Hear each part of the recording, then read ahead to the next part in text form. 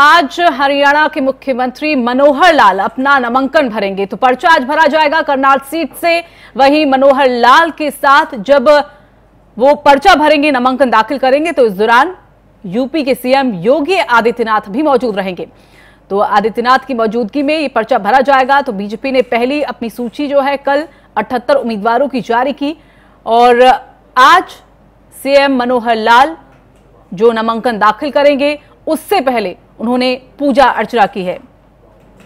तो शुभ दिन है और इस शुभ दिन के साथ अपने कल के भविष्य के लिए अपना नामांकन दाखिल आज करना है सीएम मनोहर लाल को, जहाँ इस दौरान उनके साथ उस विधानसभा क्षेत्र के जो आसपास के प्रत्याशी हैं, कहा जा रहा है कि वो भी मौजूद रहेंगे। लेकिन सीएम योगी आदित्यनाथ, दरअसल आपको बता दें कि एक स्टार प्रचारक है बीजेपी के सीएम योगी आदित्यनाथ। तो आज जब सीएम मनोहर लाल। हरियाणा के मुख्यमंत्री मनोहर लाल जब अपना नामांकन दाखिल करेंगे करनाल सीट से तो इस दौरान सीएम योगी आदित्यनाथ भी मौजूद रहेंगे।